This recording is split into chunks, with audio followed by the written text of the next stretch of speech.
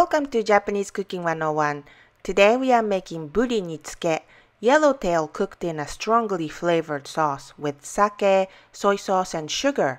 It is a very basic Japanese fish dish that can be made easily at home.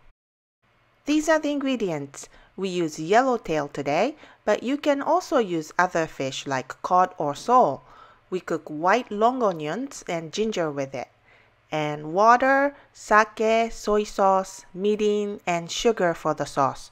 For more information about the ingredients and complete recipe, please visit our website, JapaneseCooking101.com. First, we peel fresh ginger and slice thinly and cut white long onions into 2 inch length. You can also substitute with scallions.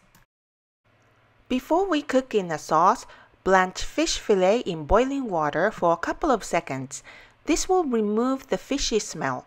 Immediately transfer to ice water and pat dry with a paper towel.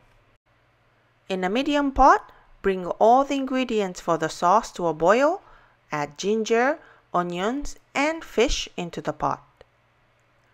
Place parchment paper over the fish and cook for about 10 minutes. Remove the paper and serve on a plate. After you remove the fish, you could reduce the sauce until very thick or leave as is for a lighter flavor. Pour the sauce over. Nitsuke is quick and easy to make and very traditionally Japanese. Serve with some miso soup and steamed rice and you will have a perfect Japanese meal. Mm,